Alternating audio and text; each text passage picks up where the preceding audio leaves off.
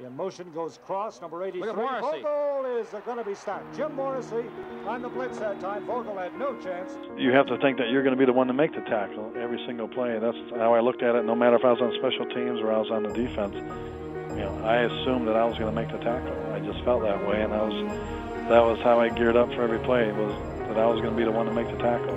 George Perles, 1983, his first year, we, we kind of won uh, more games than the year before, and then uh, my senior year we win more games than the year before. So it was it was a building process that I think two or three years later they won the Rose Bowl and won I think ten games. So it was definitely a you know satisfaction that uh, you know that we put Michigan State back in the bowl. You know, I did have fun. Again, I was a rookie that year. Um, I was by myself, so I didn't have anything to do, and they they asked anybody if they wanted to come down and take part in it, then you know show up at this place. Uh, and we filmed and we made this, you know, the video the whole day and just had fun. But I, yeah, the, the idea of the dancing moves was Mike Singletary's, and I blame him for all the embarrassment I've had over the last 30 years or whatever it's been.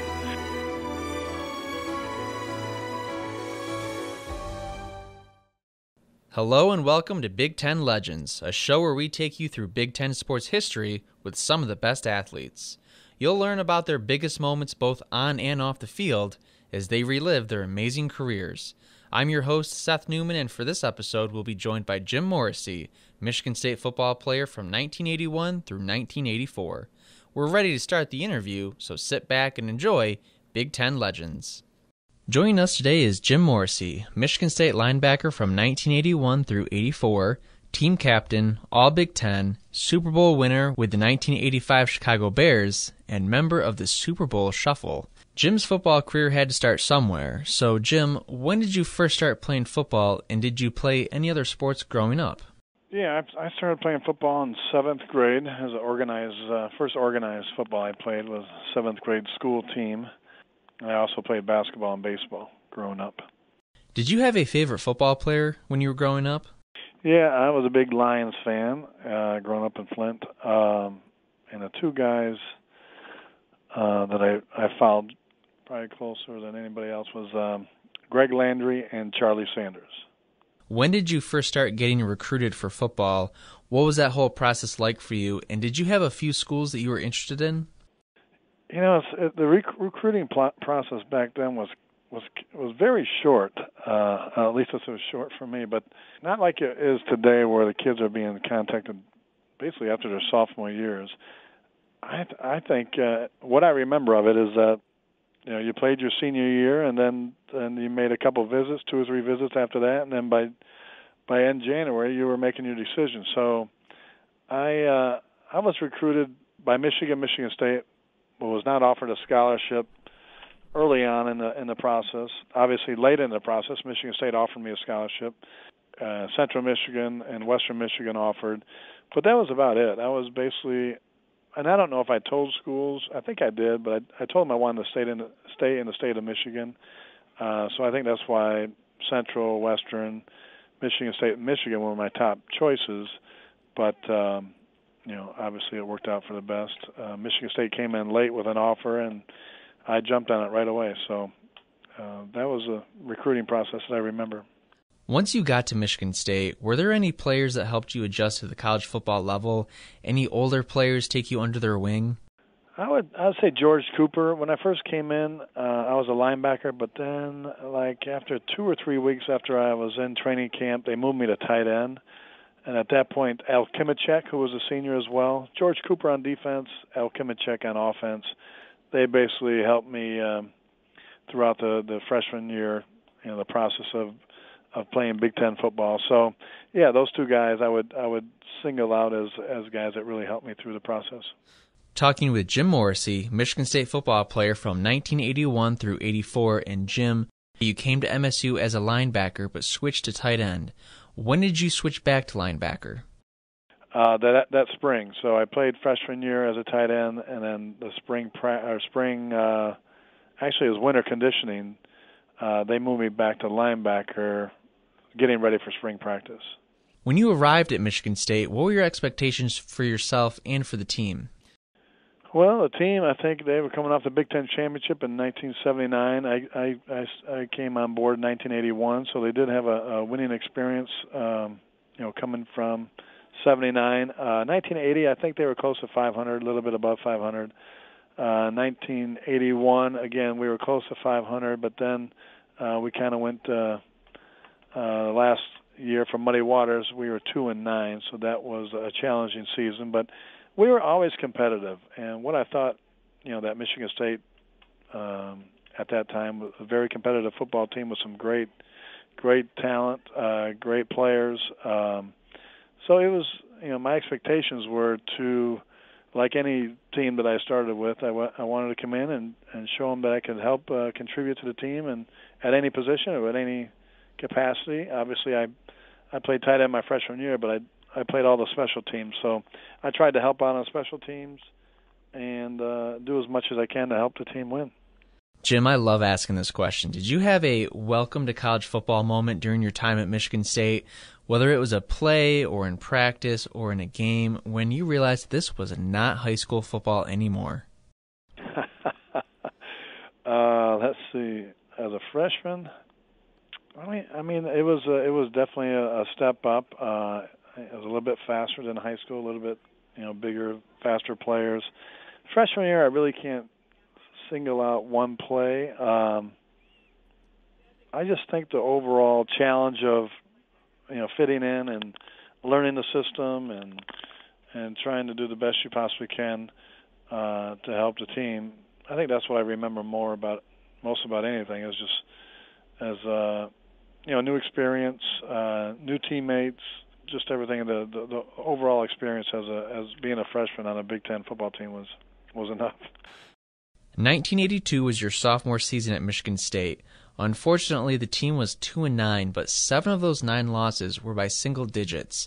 Did you feel that the team was much better than what the record said on paper? Yeah, that was a tough team. That was we had some great players on that team. Um, we had a great coach. Joe uh, uh, Joe Pendry was our defense was our no, I take that back. Joe Pendry was our uh, my freshman coach. He left after that freshman year. So if I can say one thing of uh I think reason not reason why, but if you look back uh if we did have Joe Pendry as an offensive coordinator, we probably would have lost all those those seven games. Maybe we win four or five of those games because of how good of a coach he was. So that was a big loss for us. We lost him uh, to start the season my sophomore year, and that was a, in my opinion, that was a huge loss for us. Talking with Jim Morrissey, Michigan State linebacker from 1981 through 84. Now, Jim, Michigan State's biggest rivals are Michigan and Notre Dame. So, what were those games like? What was your first taste of those rivalries? I think they're definitely on the on your schedule. That's for sure. You you definitely uh, uh, look forward to playing those games, like every other game. But yeah, the Notre Dame, Michigan, those those two teams or those two games are always a little bit more hyped up, which is which is great. Great for college football, great for Michigan, Michigan State, Notre Dame.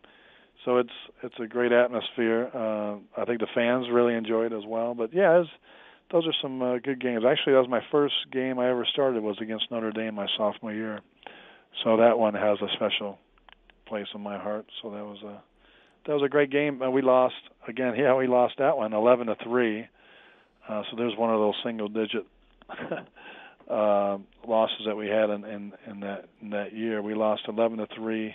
They scored three field goals and a safety on us, and we just we just uh, we just mustered up a field goal. So yeah, it was a it was a very good defensive team that I played with that year. Two of the biggest wins for Michigan State during your time there, Jim, was Notre Dame in 1983 28-23 and Michigan in 1984 19 to 7. Both were road games. What do you remember about those games? It must have been very satisfying beating your rivals, right? Well, it's all it's always good beating a team at their home home field. So th- those two games really stick out um, for my junior and senior years. Uh, but the, you know, the, to go into Notre Dame and and, and beat them, um, that was just a great great game by us. Great game plan. Daryl Turner, I think, caught like an 80-yard touchdown pass. I think we ran a, a long kickoff return back. Same thing with Michigan the next year. Bobby Morse ran back the nice punt return, and we played a great defensive game that year. Uh, Jim Harbaugh, who was a Michigan coach, broke his arm, so that that definitely um, help with you know just allowing them to score seven points. So, uh, those, yeah, those two games, uh, my final two years with George Perles, uh, those those basically stick out as some great games that we won on the road. Jim, during your senior season, Michigan State is playing Iowa on the road, and the Hawkeyes had just scored a touchdown with 44 seconds left. MSU was winning 17 to 16, and Iowa decided to go for two points. Their quarterback Chuck Long tries to score, but you stuff him right at the goal line. Do you remember that play? Can you take me through it? Oh, I can. I can still see it in my eyes. That's a. Uh, that, if you think about one play in my my four years at Michigan State, I would have to bring that play up. Uh, and believe it or not, it was uh, they ran the option with Chuck Long going to my left, and I remember watching that play in the film that that week. And when I saw their fullback go in motion, I knew there was going to be that play, and and I kind of moved to my left a little bit, and and my defensive defensive end on that play is his his his only responsibility is to not let that offensive tackle out on me, who who I was a middle linebacker, and he kind of shot the gap. So the offensive tackle had a clear shot on me. So I kind of had to step back and kind of get around and go in the end zone a little bit. So then when I saw Chuck Long hold the ball and go in, and and uh, uh, Shane Bullough and myself kind of torpedoed ourselves at the same time at Chuck Long, and I know I saw some type of clip on the TV show about three months ago, and and they they still believe, or at least when that that that show was made that they believe that they scored that touchdown, but or that two point conversion. But I know that referee made an excellent call because Chuck Long's upper body was across the the goal line, but because we torpedoed in there, either Shane or myself hit that football, and it and it fell down to his midsection, and the ball was not over the goal line, but Chuck Long's you know upper body was, but uh, up to, you know his chest and, and above was over, but the ball was not over. That was a great call by that that referee, and and that was a huge game for us. That was just a um, you know a, a very good again winning at Iowa was a great great win. That was a huge goal line stand to win the game. That tackle summed up your senior season because you finished with 137 tackles that year, and that's pretty high up there on the all time list at MSU. So, what was your mentality? Why did you always have a nose for the ball that season?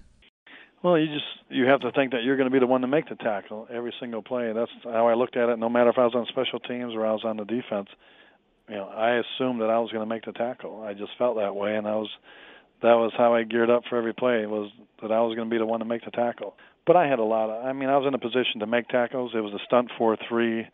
You know, I played in that system. Uh, Shane Bullough, Chuck Bullough, Percy Snow. There's a lot of great linebackers that played in that in that system, and basically that system is allowed and should have the middle linebacker make the tackles because of the stunt four three in front and and the defensive ends.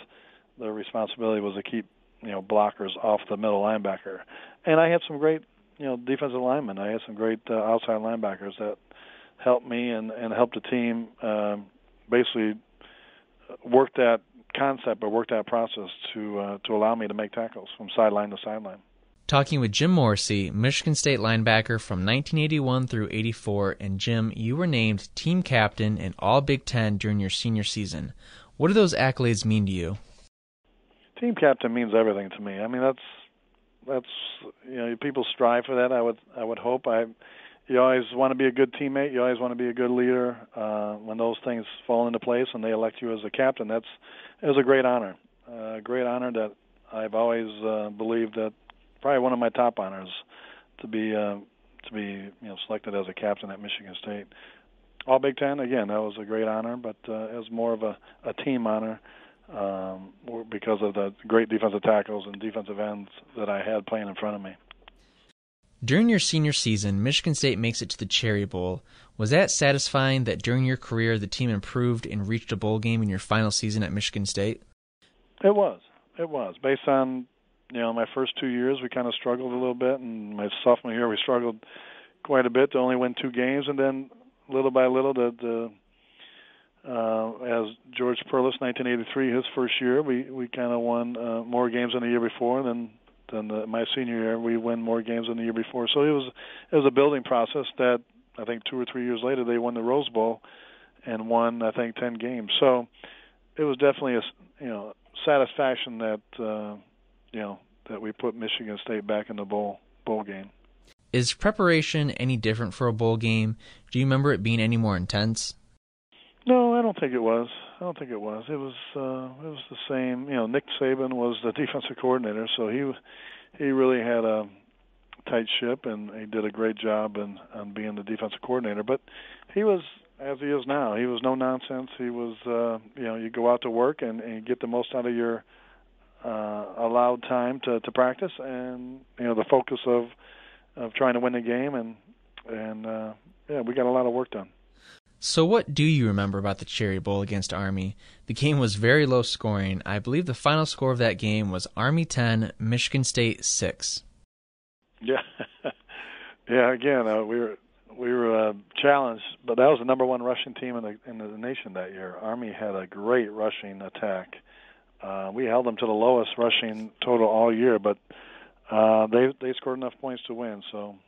Um, you know we shouldn't have we shouldn't have let them allow we shouldn't have given them 10 points but I know uh Ralf Mojsiejenko made a 61 yard field goal but then it was called back so yeah so we would have we were trying to put points on but it just didn't happen that game Do you have a favorite memory during your time at Michigan State that we haven't discussed whether it was a game or a play or something off the field that you look back on fondly well, you did mention some good ones. I, I will say that the Notre Dame game at Notre Dame. We came back from Notre Dame that when we won in '83, and it was a great uh, team team win, team celebration. So I do remember that game. Um, I just as I just look back on all those games and the experiences that I had and the friendships I still have and the coaches that I still know, and it, it was just a great experience.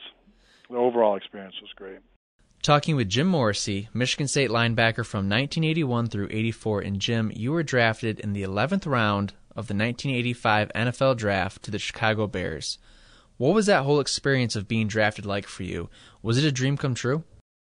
It was a dream come true. It was it was something that I really didn't think about uh, until maybe my end of my junior year, going into my senior year, and a defensive line coach Steve Furness, uh, who was on Michigan State's uh, coaching staff at that point said, you know, you better get ready, you better get ready. And, and at that point, that was the first time that I really thought, well, maybe I do have a chance. Maybe I do have a shot at at playing professional football. So, but in regards to getting ready, you know, I I basically went about my business of trying to help Michigan State win, and then based on my production on the field, if I was going to get an opportunity, then I was going to, you know, try my best and try and make the team. But yeah, to be drafted was a dream come true, and then just an opportunity to make the football team was a was a dream come true, and be associated with the Chicago Bears and the likes of Walter Payton, Jim McMahon, Richard Dent, you know, Jimbo Covert. There's some great, great players, great personalities from that, those those those Bears teams.